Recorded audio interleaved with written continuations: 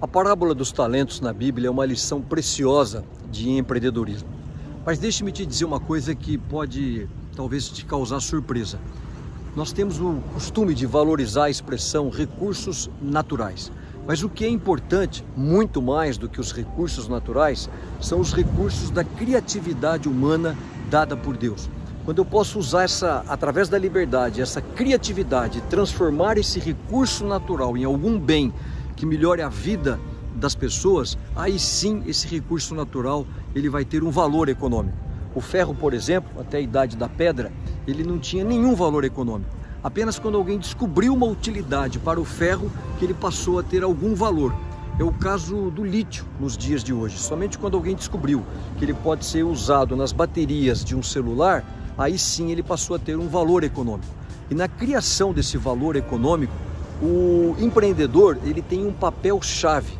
Quando ele pode exercer essa liberdade, aí sim ele pode criar algum valor que beneficia toda a sociedade. Eu vou te explicar de uma maneira talvez mais clara.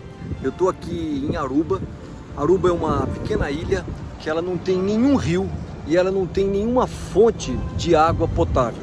Toda a água potável da ilha, praticamente, ela vem aqui do mar, através da dessalinização da água do mar, que transforma em água potável.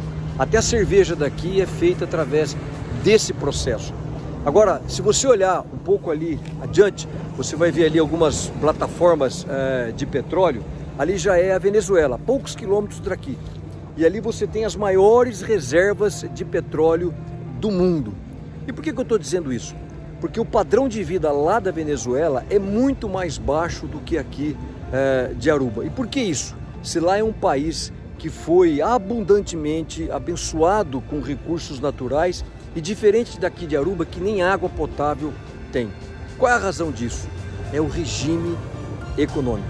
E por que, que eu estou dizendo isso? Porque quando você não tem liberdade para praticar esse regime econômico, o resultado é a pobreza que a gente encontra lá na Venezuela. Aqui em Aruba, você tem baixa tributação, aqui você tem uma zona livre de comércio, aqui você tem o alto índice de liberdade econômica e o resultado é que você tem aqui uma das maiores rendas per capita de todo o Caribe. Agora, lá na Venezuela, junto com a Coreia do Norte, você tem os piores índices de liberdade econômica e o resultado é essa pobreza.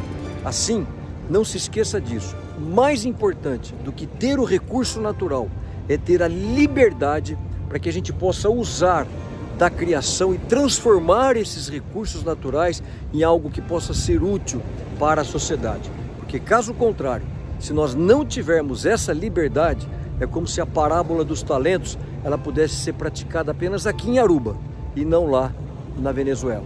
O resultado: miséria, pobreza na Venezuela, riqueza, prosperidade aqui em Aruba.